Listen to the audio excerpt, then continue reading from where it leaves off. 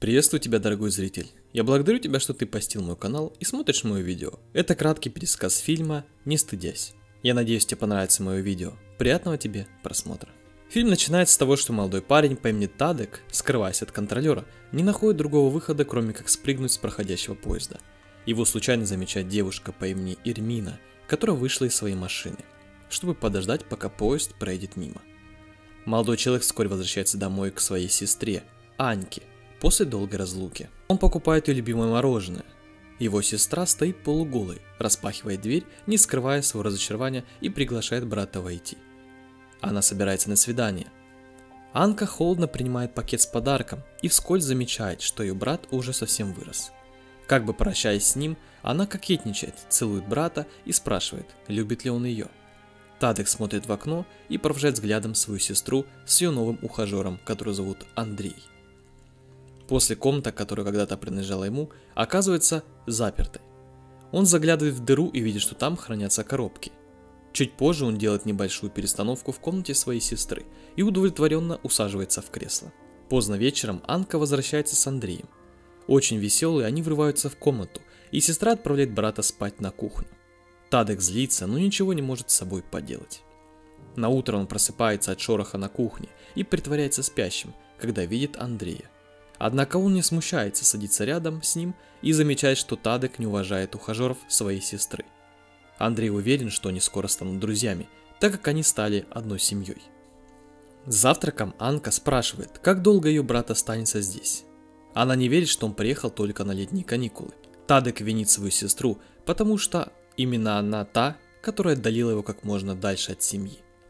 Желая закончить разговор, Анка рассказывает о своих серьезных планах с новым парнем, при этом заявляя, что она с ним счастлива. Наконец она бросает на стол несколько монет и просит разбудить ее на вечер. Вскоре Тадек встречает во дворе девушек, и среди них он узнает Ирмину, но она не обращает на него никакого внимания. Но когда он уходит, девушка говорит своим подругам, что однажды этот парень станет ее мужем. По дороге домой Ирмина меняет свои узкие джинсы, потому что она живет в цыганском квартале. В ее доме бывают гости, и по словам ее матери, важные гости из Англии, поэтому они беседуют на кухне. Вдруг трое мужчин вбегают в их район, разбивают окна домов, разбивают машины и машину гостей из Англии тоже. Тем временем Анка хвастается перед братом новым платьем, которое она не может себе позволить, но очень хочет. Тадок переживает, что он беспокоит сестру своим присутствием, а его комната занята вещами Андрея, из-за чего парню просто негде спать. Ностальгируя, парень рассматривает семейные фотки, на которых он и его сестра изображены в детстве. Особенно его внимание привлекают полуобнаженные фотографии взрослой сестры, на одной из которых он внимательно рассматривает ее тело. Утром прямо в коридоре квартиры Тадек обнаруживает двух парней, складывающих книги в коробке. Его комната наконец освободилась. Андрей взял на себя ответственность позаботиться об этом, так как Анка решила, что ее брат пока поживет у нее. Андрей заявляет, что ему не следовало занимать комнату Тадека и призывает парня бороться за все, что ему дорого. После игры в футбол со своими старыми приятелями Тадек наводит справки об Андрее. На сайте оказывается, что новый ухажер его сестры имеет связи повсюду. Он даже получил деньги от Европейского Союза на строительство нового стадиона. Он также женат и имеет двоих детей. Пытаясь образумить свою сестру, Тадек называет Андрея лжецом, который обещает жениться на Анке, даже не собираясь разводиться со своей нынешней женой. В ярости Анка отвечает, что назвонила тете Тадыка и знает, что он женился на ней. И знает, что он провалил экзамены. Выясняется, что он обманул ее и приехал не на все лето, а с намерением жить здесь долгое время. Анка требует, чтобы брат собрал свои вещи и уезжал из ее дома. Когда Тадык просит ее не разговаривать с ним в таком тоне, она переворачивает всю его кровать вверх дном и показывает свой пеньюар, называя брата извращенцем. Все, чего хотел Тадек, это чтобы у него и его сестры были отношения как раньше. В этот момент их отвлекает звонок в дверь. Мужчина проверяет показания счетчика и делает девушке последнее предупреждение, потому что она не платит за свои счета. Пока Анка смотрит, как Тадек собирает свои вещи, девушку одолевает чувство вины. Она признает, что она сожалеет о том, что сделала в прошлом, и что ей не следовало выгонять брата, когда отдавала его на попечение чужим людям. После этого они оба обнимаются и плачут. После на рынке Тадек снова встречает Эрмину. Она предлагает прочитать его руку и говорит ему, что у него все идет не так, как надо. Она не забывает упомянуть, что скоро станет его женой. Дома парень обнаруживает, что Андрей передается какой-то блондинкой. Парень выбегает во двор и громко кричит, привлекая всеобщее внимание, и указывая на Андрея, смеясь, что тот привел свою любовницу в дом ее сестры. В это время приезжает Анка и вся в слезах прогоняет Андрея. Уже этой ночью брат приходит к ней и ложится рядом. Его сестра утомительно теребит волосы брата, а затем просит его вернуться в свою комнату.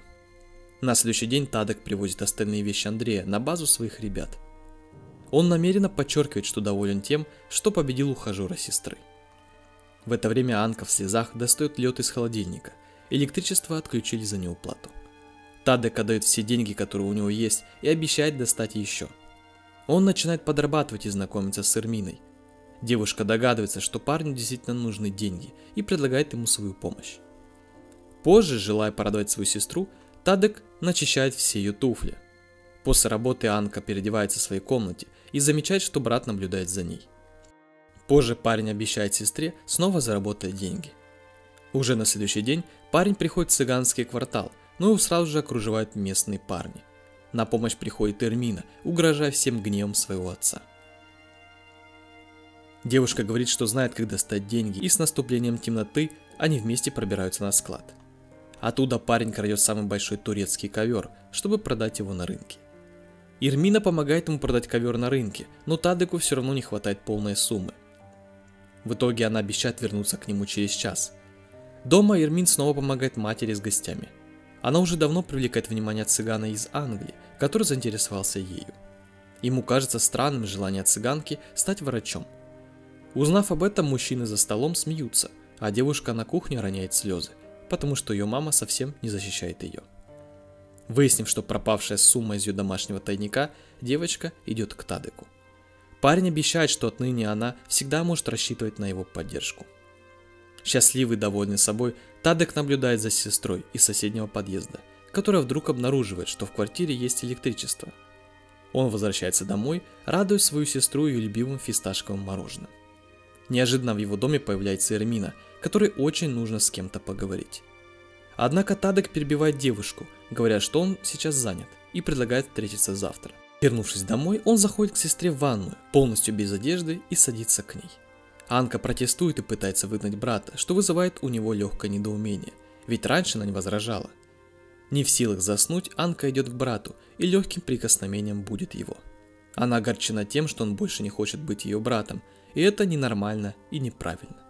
Тадек признается в своей любви к ней и говорит, что больше не хочет стыдиться своих чувств. И, наконец, вместе они предаются своим запретным и взаимным желаниям. Вскоре беззаботный и совершенно счастливый парень бродит по торговому центру и видит Андрея.